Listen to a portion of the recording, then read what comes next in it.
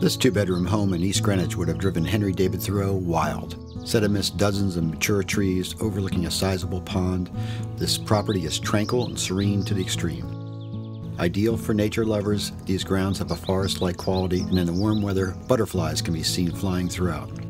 The sounds of birds and rushing water provide a charming backdrop to quaint architectural features like a bright red shed, stone well, wooden bridge, and water wheel. A series of stone steps leads from the large driveway to the front door. The main living space has an open layout and includes oversized windows to view the pond, built-ins, and two brick fireplaces.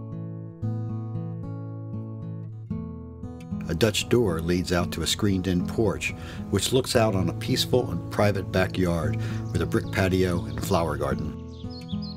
A bedroom and bathroom are set off on a long hallway, and the master is located at the end.